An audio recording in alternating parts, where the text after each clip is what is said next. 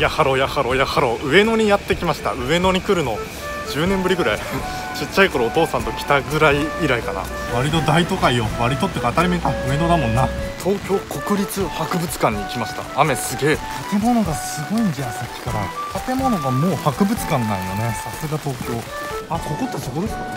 あそうななあそうか。あロケ地なんですねここ。ああ確かに。なんか見たことありますね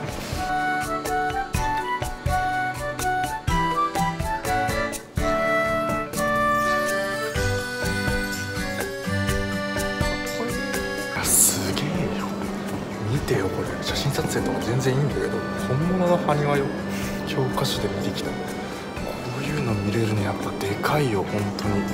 すごいもんこの広がってる光景。ほらこれも教科書で見たやつ。これとかももう全部教科書で見たことあるやつでしょ。銅鐸とかさ土器とかさ